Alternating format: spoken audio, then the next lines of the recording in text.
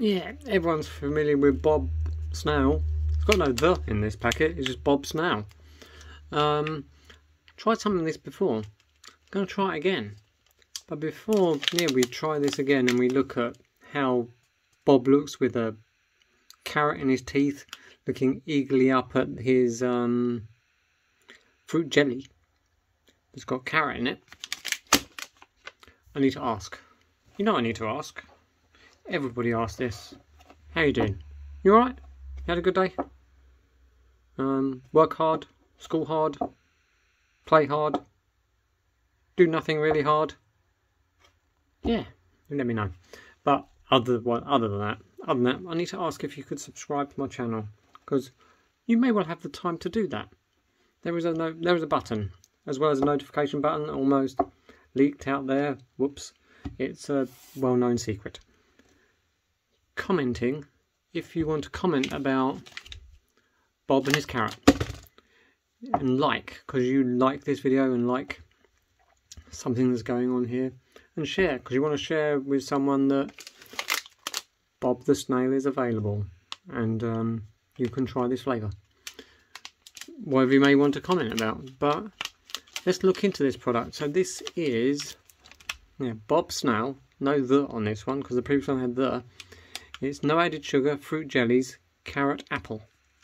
It's juice and agar, so it's vegan and it's gelatin free.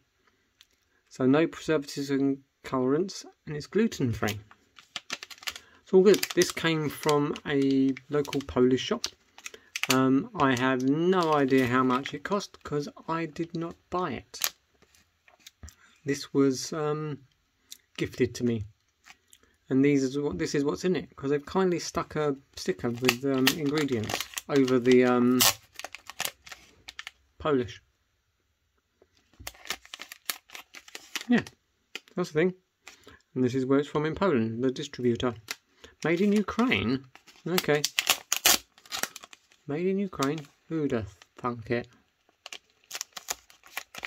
Yeah, Bob the Snail is Ukrainian. Or maybe he's Polish. Or maybe something else. Right, we need to dive in because I I want to see the big rectangular slab.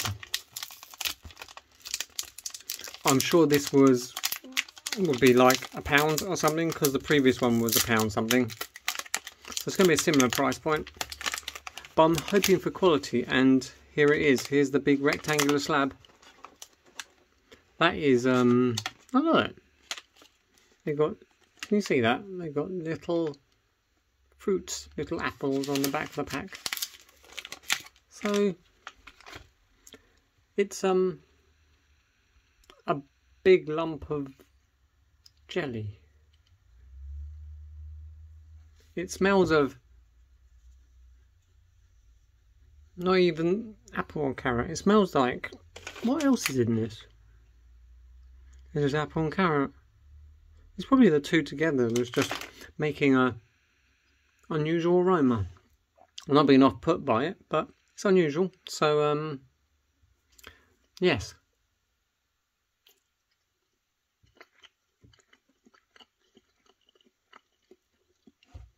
Hmm. Texture's not bad. Now I've bitten into it, you get a definite more apple carrot flavour. Because obviously carrots are quite sweet, apples are quite sweet. They have a little bit different flavour to each other, but they're both there and both present. Hmm. Kind of wish there was like, they cut them into smaller bits. Maybe there was like four Maybe that's pushing it a bit, bit, bit. Hmm. I wonder why they made there was only two. That doesn't really matter. I like this. I'm have to try another one. I definitely wholeheartedly recommend this. The only thing that's off-putting is the price point being a bit high, but for one of those things with no this, no that, no the other, you expect to pay a bit more. But the flavour is good. The texture is not bad. Yes. Check out Bob Snail, Or Bob Snail. However Bob wants to be, whether he wants the the or no the, it's completely up to Bob himself. I'm assuming he's a him. Can't tell. Anyway, doesn't matter. He's a drawing. I'm sure